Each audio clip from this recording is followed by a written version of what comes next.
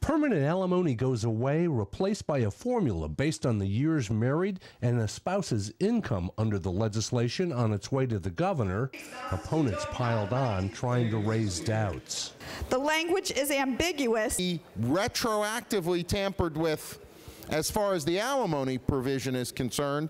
Democrats tried to add a provision that would make sure the bill was not retroactive, but Republicans blocked it. The legislation does allow the payer of alimony to seek a change if the receiver's income increases by 10% or more.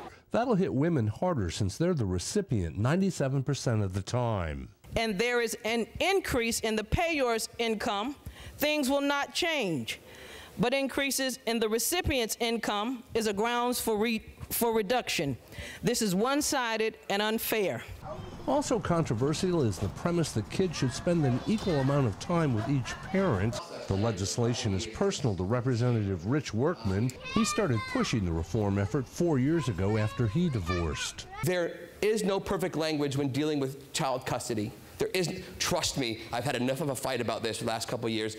The legislation moves to a very uncertain future with Governor Rick Scott. He vetoed a bill in 2013 that specifically said it was retroactive, but there are enough questions about this bill to at least cause Scott some concerns. Reporting from the state capitol, I'm Mike Vasilinda.